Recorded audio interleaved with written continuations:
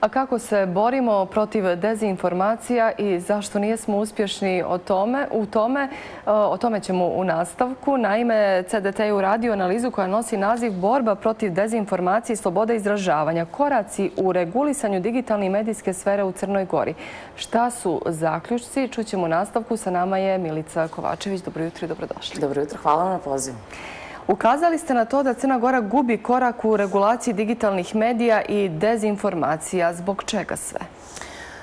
Pa prije svega ovaj, bila su, da kažem, veća očekivanja od ovoga što je medijska reforma, što su mhm. medijski zakoni koji su na čekanju već par godina. Međutim, iz onoga što je bilo na javnoj raspravi, iz onoga što vidimo u najavama, u drugom planu je ponovo ostala regulacija onoga što su savremeni izazovi, što su nekakvi moderni trendovi, zato što je kod nas već godinama svaki razgovor koji se tiče regulacije medijske sfere jako optorećen nekim nagomilanim jeli višegodišnjim ili višedecenijskim problemima, um, nedostatkom samoregulacije, političkim i ekonomskim pritiscima na medije, neregulisanim tržištem i posebno problemima uh, nezavisnosti javnog servisa koji iz godine iz godinu se ponavljaju.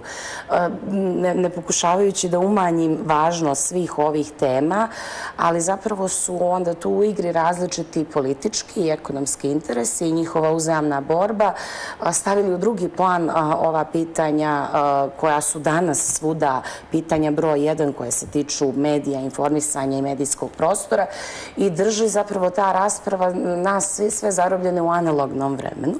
Mhm. Umeđu vremenu ovaj, digitalno doba, toliko je li ponavljamo tu frazu, ona se iz našeg zakonodavnog okvira ne vidi i negdje je jedan od osnovnih zaključaka ove analize koji su radili advokat Siniša Gazivoda i analitičarka javnih politika Jelena Perković je da Crna Gora debelo zaostaje u odnosu na ono što su danas evropski trendovi, što su politike koje testiraju, implementiraju, razvijaju i zemlje članice Evropske unije, ali i zajedničke evropske politike koje se bave ovim pitanjem. Mhm. Šta je propušteno da se uvrsti u nove medijske zakone? Imaćemo sada da će portali morati da se registruju. Šta je još trebalo tu uraditi kada je ova oblast u pitanju, prema vašem mišljenju? Pa tu su date, ajde da kažem, neke preporuke koje se tiču toga. Prvi negdje zaključak ovo dvoje autora analize je da je ovdje neophodan jedan holistički sveobuhvatni pristup koji ne znači samo promjene medijskih zakona, zato što se ne mogu sva pitanja riješiti samo kroz to. Dakle, tu je cijela jedna tema digitalne sfere ostala neuređena, a to je ona sfera u kojoj se u najvećoj mjeri danas dešavaju dezinformacije. Zatim da tu imamo brojne druge zakone koji se tiču i izbora i krivično zakonodavstvo, preispitati, testirati i vidjeti kako to može se uradi i zapravo da nam je potreban jedan strateški pristup, dakle jedna čitava strategija koja bi se bavila dezinformacijama. I sad što se tiče konkretno medijskih zakona. Tu su preporuke prije svega da se poveća, da se insistira na povećanju transparentnosti medija, to znači i vlasništva, mhm. i uredništva, i novinari, članci i prihoda kako bi se ovaj, osiguralo da se poveća odgovornost onih koji mhm. predstavljaju te dezinformacije. Jeste tako, čuli smo da će biti unaprijeđena u jednom dijelu transparentnost tako što će se, da kažem, izvršiti nekakav podsjecaj za um, portale da se registruju na način što će za javna sredstva moći da mhm. konkurišu samo oni mediji koji su registrovani. Ja ne znam šta je u toj zadnjoj sad verziji koja ide, ali uh, bilo bi jako važno. Prije svega mi sad nemamo regulatora uopšte. Mhm. Dakle, regulatori postoje za audiovizualne medije, za televizije i radiostanice. Um, nad štampom niko ne sprovodi nadzor nad portalima tek. Čak ni nad onim koji su registrovani. Vi sad nemate kome žaliti i ne možete izaći s tim do kraja. Tako da nama treba tu jedan pristup koji bi napravio propise, onda ustanovi instituciju koja bi vršila nadzor nad ovom sferom. Nijesu samo portali, dakle to je jedan maleni dio digitalnog koji mi čak donekle možemo da razumijemo, ali to je cijeli onda svijet društvenih medija i velikih web platformi kao provajdera informacija publikacija koji nijesu mediji u klasičnom smislu jer ne postoji urednička mhm. kontrola i nadzor nad sadržajem.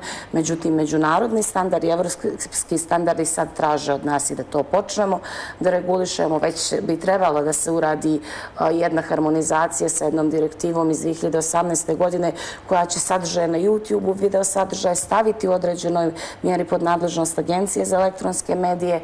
Nama treba da bude prioritet da gledamo šta su evropske politike i da već mhm. sad na vrijeme krenemo da se harmonizujemo sa aktom o digitalnim uslugama koji je revolucionarna regulativa u ovoj oblasti i nama će biti jako teško da je primijenimo sa ovim nivom razvoja i zakonodavstva mhm. institucija i zato bi bilo neophodno da sa tim počnemo što prije ili sa pripremama za to. I više puta su nas u izvještajima upozoravali na to. A šta radi sada Crna Gora da društvo zaštiti od dezinformacija? Imamo li mi u ovom trenutku bilo kakav mehanizam?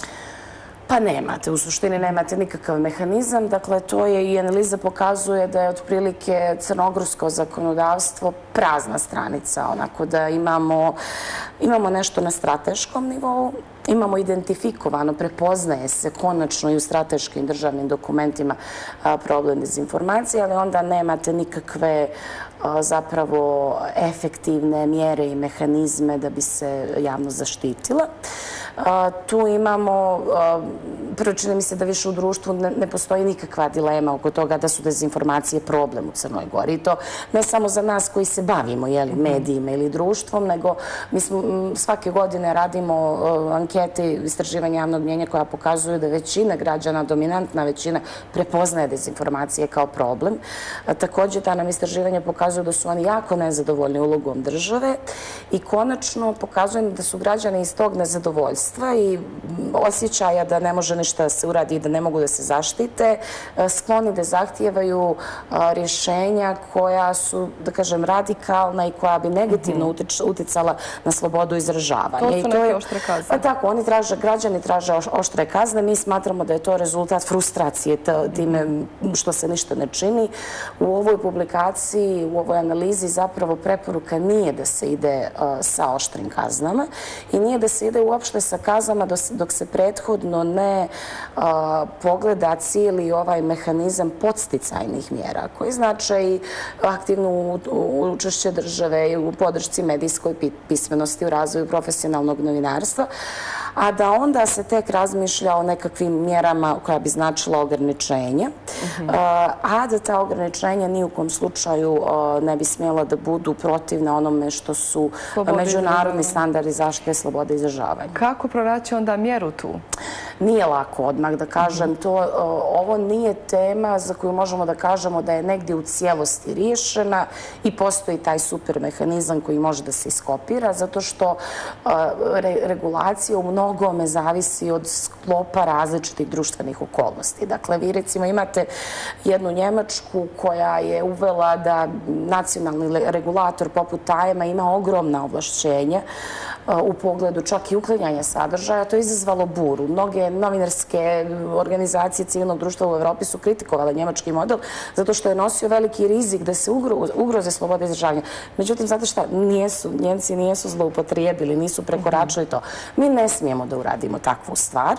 E, tu postoje i predstavljeni su neki od uporednih modela, predstavljene su neke od politika. E, negdje je sugestija da bi prvi korak bilo da se sjedne i da se uh, uradi nekakav strateški uh, dokument koji bi bili, bio, gdje bi bili sadržani koraci, šta je sve to neophodno da se izmijeni kako bi se uredilo ovo pitanje, gdje ja opet ovaj, ponavljam, ograničenja treba da dolaze na kraju, ne smijemo kao prvu mjeru, jeli, naročito ići u krivično sankcionisanje, to se preporučuje u vrlo izuzetnim slučajevima i mora jeli, biti e, težiti zaštiti legitimnog cilja i biti proporcionalno i u skladu e, sa demokratskim vrijednostima. Tako da, e, iako se recimo na medijskim zakonima radilo jako dugo, vjerujemo da je ovo bila zapostavljena tema. Ne, ne postoji rješenje koje može da se prepiše za mjesec dana i implementira, ali mi rješenje moramo tražiti i naći ono koje je po našoj mjeri. E, vi ste pomenuli primjer Njemačke, u izvještaju se pomenju još neke države. Da li postoji nešto što bismo mi mogli kod nas da primijenimo? Postoji više... A da bi bilo efikasno? Ne postoji cijelovit model koji bi mogao da se prepiše, se države jako razlikuju, ali postoje dobre prakse koje bi se mogle prilagoditi. Postoji, recimo, Francuska je jedan od primjera koji se vrlo ističe u dijelu zaštite izbornih procesa dezinformacija. Tu je zatim, su skandinavski, pogotovo švedski model, pristup cijelog društva, ondi to je nekakav, ja bih voljela jeli, u takvom društvu ovaj, da živim. Tako, e, nije, nije jednostavno jer nemamo mi ni, ne samo državne, nego nemamo mi ni institucije civilnog društva razvijene na tom nivou. Postoji neki, neki modeli za koje mi procjenjujemo da su previše restriktivni i koje ne bi, ne bi trebalo primjenjivati, ali u svakom slučaju ako počnemo sad, pošto se sad sve to jeli, jako razvija, u nekom momentu kad mi pripremimo nešto od ovih nekih polaznih osnova, vjerujemo da će već biti i više tih zgodnijih modela za kopiranje. Pa šta je onda prvo što bi Crna Gora trebala da uradi na putu ka Evropskoj uniji? Šta treba da izvijemo? medijska strategija je trenutno onakva kakva je, ona lijepo opisuje problem, ona je prepoznala problem dezinformacija, međutim ona ne nudi gotovo nikakve mjere. Osim nekakvog umrežavanja, što je ovaj pristup nekakav jeli civilno društvo. Ona također nije uslođena sa nekim drugim ovaj, e, dokumentima, recimo sa strategijom sajber bezbijednosti koja ovu temu isto tretira jer su dezinformacije i hibridna prijetnja na jedan drugi način. I mislimo da cijele neke oblasti koje se tiču i bezbijednosti i digitalnog društva i nekakvih važnih procesa poput izbora koji se štite, javnog zdravlja koje se štiti, da treba zapravo krenuti u izradu strategije borbe protiv dezinformacija koja nije samo strategija koja se bavi medijima, nego koja prvo polazi od toga čemu to dezinformacije prijete u ovom našem društvu, šta su dobra koja treba da štitimo, jer nije svaka laž uh, jednako maligna, neke su i bezazlene a onda vidjeti, mapirati zakonodavstvo i koje to zakone treba mijenjati i dakle danas po onome što nama pokazuju, moram to i da kažem jer evo gostujem u mediju, sva sva istraživanja koje radi raskrinkavanje me pokazuju da glavni izvod dezinformacije u Crnoj Gori nijesu tradicionalni mediji registrovani koji operišu u Crnoj Gori imaju uredničku kontrolu i nadzor. Dakle, televizije i štampe nijesu dominantni izvori dezinformacija ili čak nijesu, više se to dešava na nivou propusta novinarske mhm. greške, definitivno nijesu namjerni kreatori dezinformacija.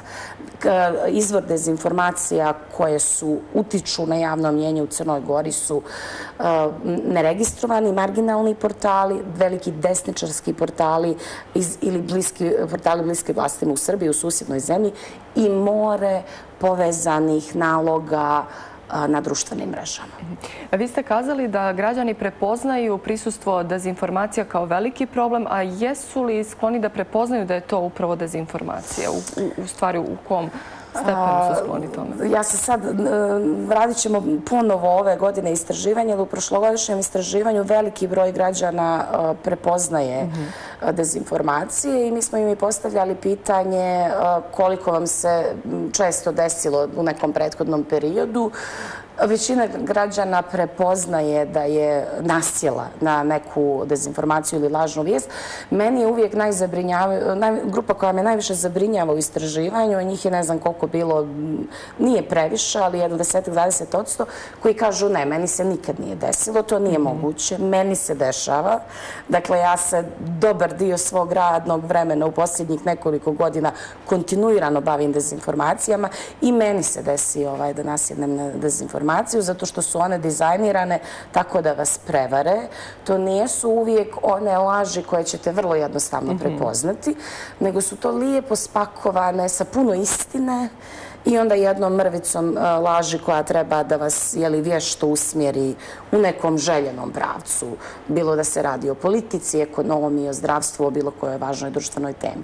Dakle, građani To je to je jedna posebna oblast gdje mi moramo sa građanima raditi, to je medijska pismenost.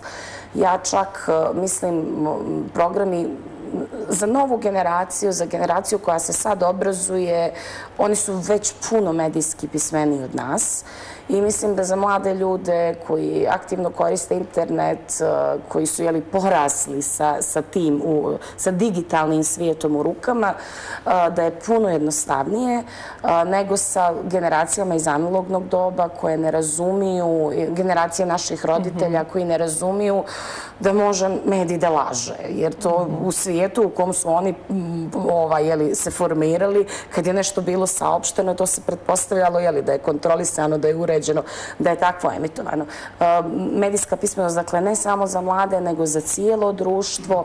E, brojna nam druga pitanja u istraživanju pokazuju da dezinformacije tekako utiču na mijenjanje stavova, e, da čine ovo društvo regresivnim, konzervativnim, da veliki broj građana djeluje, vjeruje u teorije zavjere, u propagandne narative, da zabrinjavajući procenti građana vjeruju recimo u diskriminatorne teze o ženama, o LGBT osobama, a mi već znamo da to vjerovanje nije jeli spontano, mhm. već je rezultat dugogodišnje propagande i dezinformacija koji se strateški plasiraju jeli, kroz jedan određeni medijski ekosistem.